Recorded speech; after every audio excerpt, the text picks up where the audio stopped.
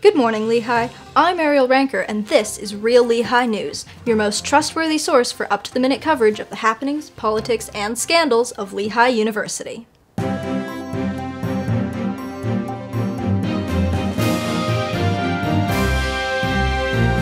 In the past two weeks, the existence of Donald Trump's honorary degree has been unavoidably brought to the attention of the Lehigh community. Even the last 20% of students who were still under the assumption that the university's leadership had morals are now beginning to reconsider their life choices. As a result of this increased awareness, a large group of students has organized in support of the Board of Trustees' choice to ignore several years' worth of petitions by faculty and students and to allow the soon to be ex president to keep his honorary Doctor of Laws degree. 30% of the student body has now signed a statement saying that they will refuse to accept the results of their final exams if they receive failing grades. Plans are already in place to petition department heads for regrades if even one student's score is found to be even a percentage point off. A student activist told Real Lehigh, quote, I saw professors stuffing quizzes into an unmarked container. It had a suspicious plastic coating over it and metal rings. The scoring system is corrupt. Make Lehigh grade again. Additionally, Following the president's example, students will be putting every possible effort towards perpetuating the idea that COVID is a hoax, obstructing academic dishonesty at investigations, and forgetting how to type and speak coherently. Expert sources suggest that Lehigh should think twice before deciding that Trump is a good representative for the university. The future former president's honorary degree has been in question ever since he received it in 1988 and asked if Doctor of Laws meant that he could now legally forge policy documents. According to unsubstantiated rumors, this event sparked his ill advised inclination towards politics. In response to current social distancing guidelines, a small group of students has started an organization called the Inning Club, meant to rival the Outing Club. Despite numerous instances of their name being mistaken for a baseball enthusiasts association, the newly minted club has been bravely forging ahead into new territory and student activities. The founding members, an assortment of engineering, CS, and accounting majors, discovered their niche in organizing antisocial events. They used their natural talents and inclination towards solitude to think of creative ways to avoid connecting with others. For example, the club hosts Zoom movie nights scheduled at different times each week, with the link hidden 27 steps back into an email string. Those who do manage to sign on mute themselves and turn off their cameras to avoid accidentally suffering through social interaction. They also organize socially distanced photography trips by periodically checking the 10 day forecast and picking a random time between 10 p.m. and 8 a.m. on the day with the most miserable weather. The club's mission statement reads, quote, we are committed to keeping students safe by replacing in person interaction with the appearance of having a social life. Those among us who are grateful that the quarantine has eliminated social obligations can still avoid people without the guilt of actually cutting contact with every other living human. This is a significant step forward for Lehigh's less socially adept students. Many are grateful that their housemates can now see them on Zoom calls, and that they can claim membership in a club, but that they still don't actually have to talk to anyone. LTS has recently started using a new antivirus software called CrowdStrike. This is now the funniest thing ever to appear in the university announcements, breaking the record previously held by the mere implication that anyone might want to attend a graduate seminar.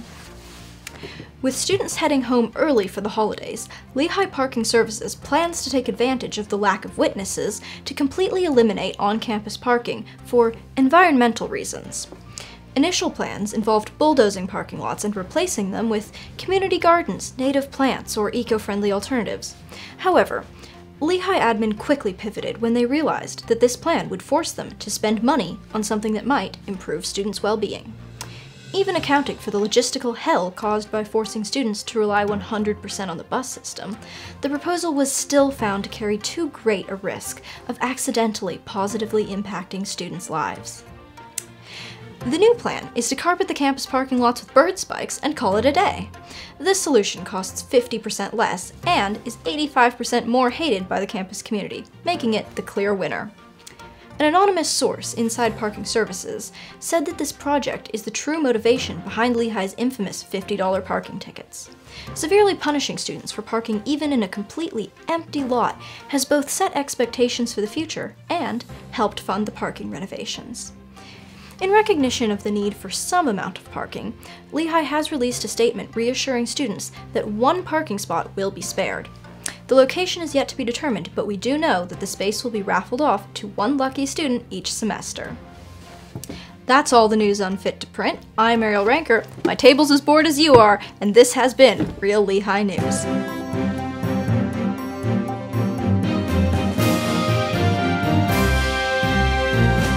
Hello, Lehigh. I'm Ben Metz, and on today's episode of Metz Meets, I'm meeting Professor Carr, a professor of practice in the Lehigh Computer Science and Engineering Department. She teaches both introductory and intermediate level Java and discrete mathematics courses and has been called the only CSE professor who makes me want to go to class. She also earned the Lehigh Early Career Award for Distinguished Teaching for 2020. Professor Carr, hello, and thank you for joining me today. How are you? No, oh, I'm good. How are you? Thanks for having me. Mm-hmm. In your bio, it says you're passionate about helping promote and retain women in the computer science and data science fields, and you're an ambassador for Women in STEM. What do you think is the most important key to keep women involved and prevent them from dropping out in a male dominated field? A really simple way uh, is representation right? So if if we have more women if we have more uh, underrepresented groups represented um, then people will feel more comfortable to be there. Have you had any personal experiences like good or bad as a woman in stem that made you really passionate about the subject of getting more women in I've thought a lot about this, and I will say that I've been very privileged that I've not had major setbacks because of being a female in STEM. Um, but I think that's exactly what makes me passionate about it is that my experience as a woman um, is very often the rare experience. Do you feel that Lehigh has achieved equality or near between genders in the computer science field, or is there still a far way to go? Um, you know, I think the numbers don't lie. Uh, there's still a way to go. Um, women in our in a CS area, so this encompasses all of the majors, is about a quarter, um, and then and male is 75%. Really, where we we need to make some strides is in the the uh, BIPOC community, and um, uh, you know that's obviously not something that I can uh, relate to, but I want to make sure that we have uh, with this with this sort of uh, outreach program that I have going um, with the Women in Data Science Conference, um, which by the way is in, in going to be in April next year, likely online. So I'll, I'll send more details for anyone who's interested. Now your LinkedIn says that you taught elementary and middle school math. How does teaching younger kids differ from teaching college students? I don't have to give permission to go to the bathroom. That's that sounds super funny and silly, um, but it's quite a nice thing to be able to teach the entire time. If you were asked to go to the store and you were told, buy a gallon of milk, and if there are eggs, buy a dozen, how many gallons of milk would you come home with? If I were told to buy a gallon of milk, and if there are eggs, buy a dozen. Mm-hmm. How many gallons of milk? I would buy one gallon of milk. I remember there being a comic, some little comic where it's like programmer and like programmer spouse tells him to go to the store saying, buy a gallon of milk, and if there are eggs, buy a dozen. Person comes home with a gallon uh, with a dozen gallons of milk saying there were eggs. oh, that's good. I like that. I'm gonna have to try that. Uh, hopefully, none of my students see this before I try that joke and pretend it's mine. now, one of the main subjects in your introductory CSE classes is teaching Java. What's your favorite way to brew a coffee? Right now, it's my Nespresso. I actually have a thing with with coffee. Um, I'm not picky or snobby. I just get really hooked on a new thing to me. So right now, I have an espresso, but not one of those like thousand dollar ones. On the subject of loops, infinite loops, for loops, while loops, fruit loops. There are so many different types of loops. What's your favorite kind of loop? Um, when I was little, and probably still to this day, I just don't buy them. I would eat um, SpaghettiOs like incessantly. SpaghettiOs is my the O's are my favorite loops. So. Now Hollywood. Hollywood has been known to dramatic or dramatize, dramatize, dramatize mm-hmm. the life of a computer scientist or a hacker. Have you ever hacked into a bank's mainframe? I have not, and probably if I did, I'd be a terrible hacker if I told you that I did. But no, I have not. now, what would you say the weirdest variable name is that you've assigned before?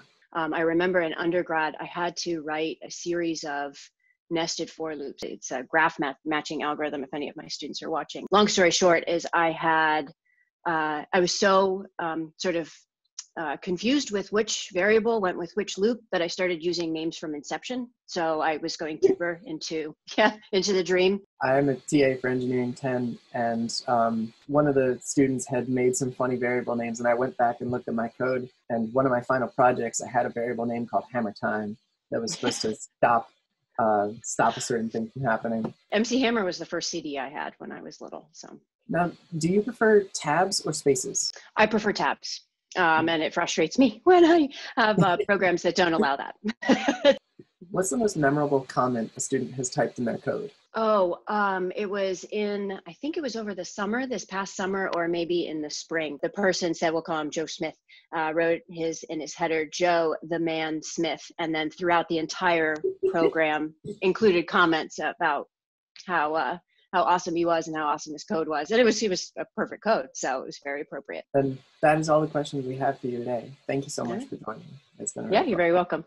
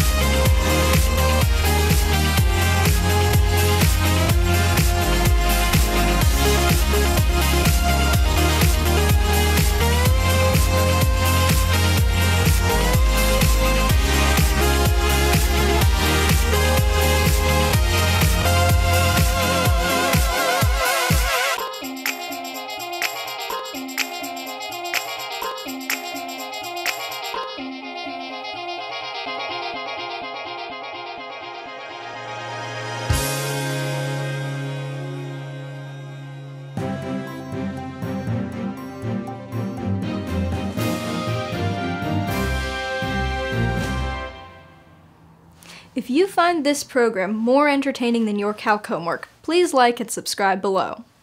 This week's featured comments were painstakingly hand-selected from the hundreds that we received. None of these comments were made by friends of the production team, and certainly none were written by the family of the producer. A commenter like you could be the next recipient of this prestigious honor. Thanks for watching!